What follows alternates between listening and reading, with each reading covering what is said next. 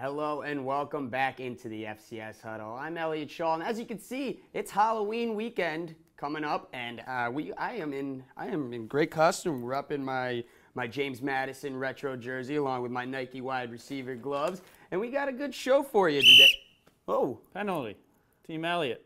Delay of game of introducing me. oh, my bad. Okay, let me uh, let me let me start back over. I'll take a few steps backwards. I'm joined by the FCS senior editor for stats, Craig Haley, and we've got a good show for you today. Now, Craig, since you have your trusty whistle, I'm going to say some statements here um, i- i- with the FCS, and you're going to blow it whether you agree or if you don't agree. So let's start with this one. So, number one, Jacksonville State is the best team in the FCS. Penalty. I think they're right up there.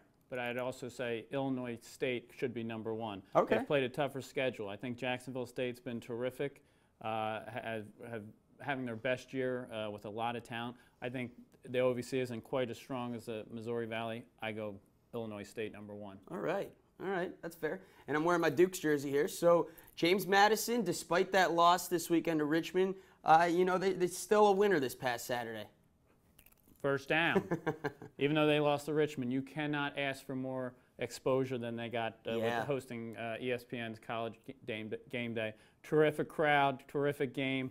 Unfortunately, they lost. Now, if uh, Vad Lee, if his foot injury lingers, then you maybe reassess Mm-hmm. it. But I think they're a winner. And how about when uh, Corso came out of the with the book and everything? That was great. That was awesome. It was really it was great exposure. I got to agree with you there.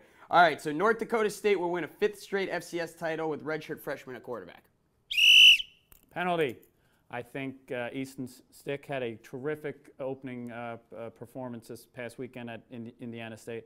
I think i- if they're going to win another championship, they need to have their veteran quarterback, Yeah. Carson Wentz, back behind center. Hard to disagree with that. All right, there are five unbeaten teams entering Halloween weekend. There won't be any come the end of this regular season. Penalty. I think the Ivy League matchup might bring us one. I mean, Okay. uh, Harvard hosting Dartmouth. They're both six and zero. They obviously have to get to ten and zero. I think the winner there will, really can can do it. Uh, the other teams, uh, McNeese, um, Coastal uh, Carolina, and Dayton, they have a chance of losing along the way. But I think we'll have a number uh, an undefeated team at end at year's end. Okay, and here's here's one that we've actually talked about before on the show. Eastern Washington wide receiver Cooper Kupp. Will he enter the NFL draft? First down. I think he is headed to the NFL. He's a redshirt junior. Uh, I think you want to strike while, while the iron's hot, and it can't be any hotter than, than Cooper Kupp right now. Okay, I, I hard to disagree with that one as well. Rivals Montana and Montana State will be playing for a playoff berth on the last day of the regular season. First down All right. again. I, I think uh, both teams are, are somewhat in trouble with another loss uh, because you don't want to have four losses going into that uh, matchup on November 21st. They're both four and three right now. Um, I think Montana's the better team. They, they have a tougher schedule headed there. I, I don't think they're both headed to the playoffs. All right. Well, there you have it. For more Halloween fun, everything FCS, be sure to check out the website fcs.football, also on Twitter at FCS underscore stats.